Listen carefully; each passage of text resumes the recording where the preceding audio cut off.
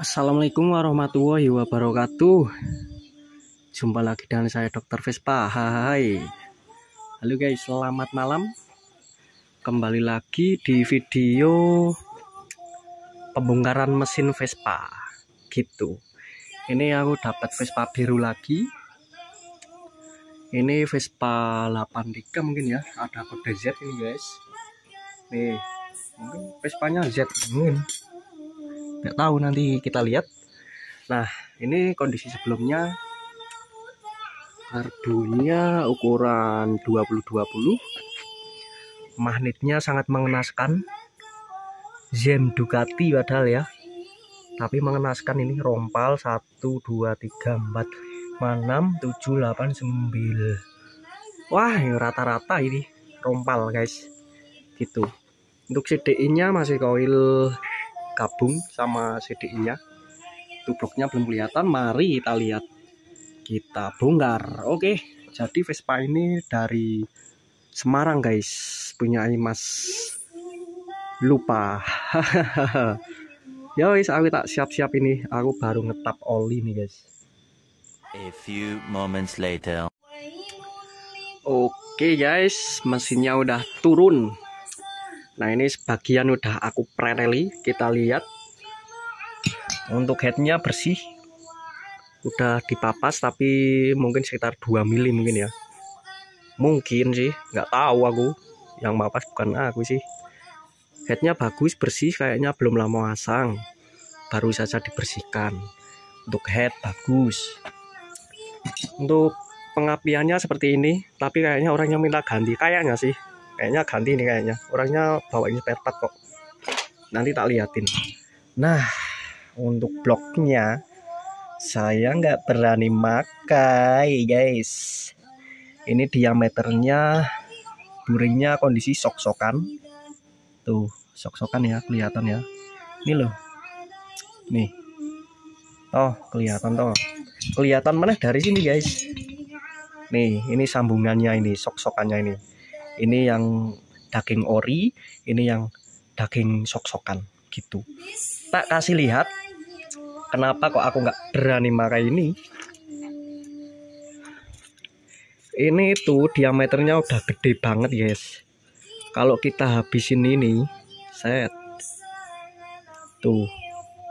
Ini kalau cari bersih ini tak ambil pasnya aja. Ketemunya seperti ini nih 6 berapa ini? 6 63 guys. Kalau kita bersihin mungkin sampai 64 berarti ini kalau aku pribadi nggak berani soalnya kalau 64 udah 400 ya 400 sekian lah. Ini nggak berani masang aku mas.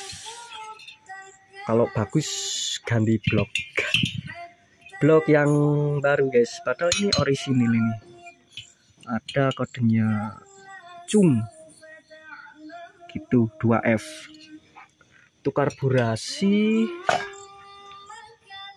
dia settingannya model diganjal pakai sedotan. Untuk yang lainnya ini koilnya kabelnya seperti ini. Koil CDI kayaknya ini sudah ganti kok. Gitu ini busi ini baut ini koplingnya kopling kecil 21 ini kopling kecil tutupnya masih bagus bisa pakai untuk kopling untuk karbu Sud. nah kita pindah ke mesin Uh, ternyata mesinnya ini share nih, share Eriking guys. Emang betul habis dibersihin sama orangnya. 100 ini guys ukurannya ini untuk stangnya jangan-jangan Ericsson juga ini. Wah iya ini RX ini. Ganti share ini untuk as bandulnya ini guys. Gitu. Terus setelah aku nyopot kopling lah. Larnya sangar guys. Bearingnya bola-bolanya udah pada ngumpul. Oyo arak gendurenan ya guys ya. Tahlilan nih ngumpul iki ono piro iki. Telu papat iki wong wolu kumpul nang ngene iki gendurenan Oke, berhubung ah baut-bautnya kayaknya udah tak lepas. Kita langsung aja, guys. Bismillahirrahmanirrahim.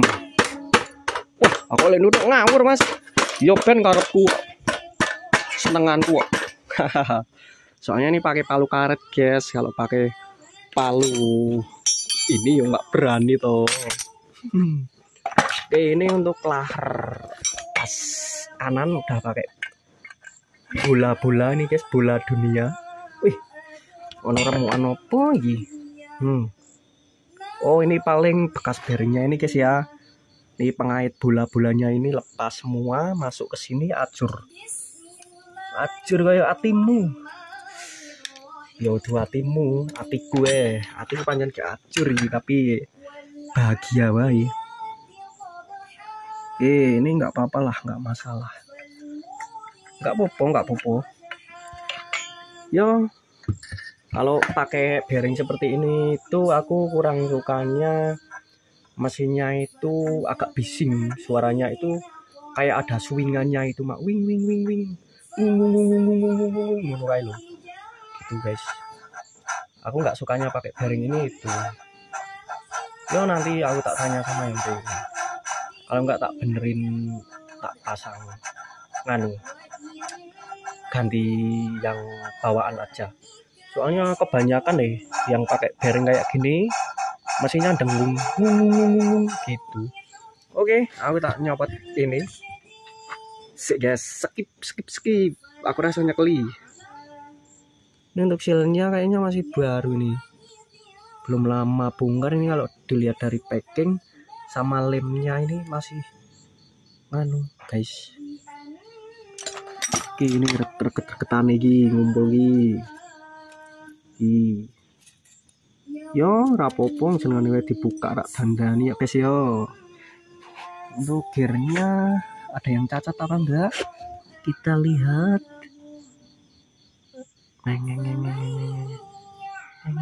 Oke gearnya aman. Wih ono bolongan guys. Ih.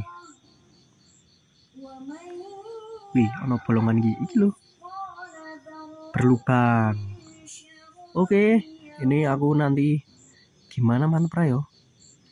Ya wis tak takon wongi wae ada yang cacat enggak ya ini cacatnya cuma anu sih kotor mesinnya. Sama ini karet sasisnya minta ganti. Terus tadi ada baut radiangel bagian oli. Ini halus sekali. Kelihatan nih guys ya halus tadi tidak ngedrat sama sekali cuma di subal itu. Aku pas bukanya ini itu di subal mana yang itu tadi weh neng di bocah. Neng neng neng nah ini di subal terus di link. Ih guys modal nekat ini untuk as bandelnya wah piye yo? Gantilah udah masuk. Koyong ini guys ganti setang ganti nganu toh? Ganti stang R R Vespa. Kok R King meneh? Ini untuk klipnya dilem biar aman dia guys ya. Gitu. Ini ukuran 100 oke ya wis. Ini untuk bagian berat-berat ini kayaknya masih aman semua sih. Cuma ada ini mungkin nanti tak bener ini. Set. Coal koyo untumu yo yo yo. Untuk isapannya masih ori tapi udah agak nyembur sih. Udah agak longgar soalnya. Gitu. Ya udah kerusakannya semua itu guys. Ganti bearing beres beneri drat-drat oli sama ini ya. Ini bagian keraknya sudah beres. Nanti aku mau benerin ini aja. Aku takut kalau pakai ini tuh bunyi dengung ngung gitu. Oke saya aku tak ngambil perlengkapan orangnya itu seperti ini guys. Nah jadi kemarin orangnya itu pas datang dia udah ngasih aku bekal seperti ini. Ya. Oke ini ada pengapian tau berarti pengapian ini memang ganti. Kalau orangnya bilang sih ini punya YZ ini. Oh iya YZ M teknologi jos. Mudah-mudahan masangnya gampang ya. Beda sama punya E yang HBA itu agak rumit ya. Terus ini untuk manipul versinya versi biasa ini agak susah masangnya soalnya dia kurang tinggi sedikit. Biasanya kalau aku masang membrannya itu nggak bisa membuka dengan apa ya dengan bebas. Soalnya ketangguk sama baut ini baut karbu baut manifolnya. Untuk anunya PWK CPO nih ya yang meling-meling. 28 ini guys. Tuh sama ini sih. Kayaknya kopling ini. Ya cuma ini tok. Kayaknya kopling ini. Kopling ya? Kopling tuh kopling PE eh ya cuma itu aja guys. Jadi untuk Vespa ini mesin ini mau ceritanya itu mau pengen ngebut dengan spek membran seperti ini ya pengapian WZ uh, karburator PWK kalau untuk soal bloknya orangnya manut katanya suruh buka dulu kondisi bloknya seperti apa.